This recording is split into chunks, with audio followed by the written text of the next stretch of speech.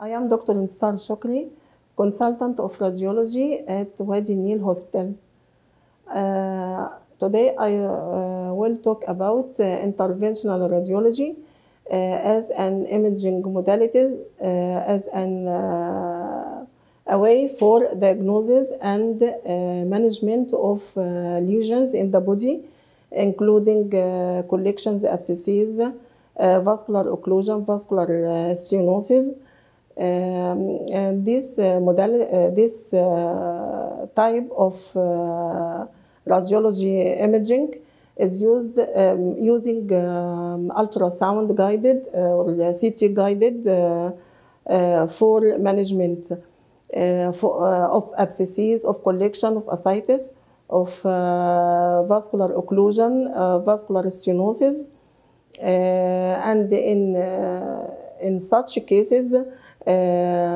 drainage catheter uh, are used for management of abscesses, uh,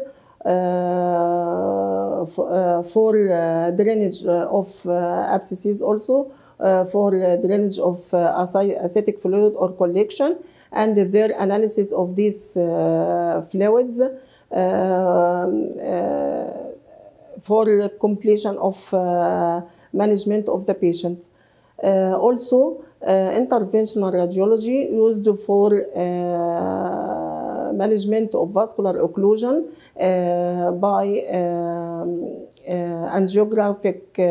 uh, injection of uh, these vessels, then diagnosis of uh, the stenotic or the occluded sites, then um, application if this site needs balloon dilatation, balloon is applied. If it is uh, stent, uh, according to the case, stent applied, uh, stent application is applied for the site of occlusion or, or, or the site of stenosis. Uh, if there is a thrombus or there is an emboli within the vessels, they are also uh, can be degraded uh, through uh,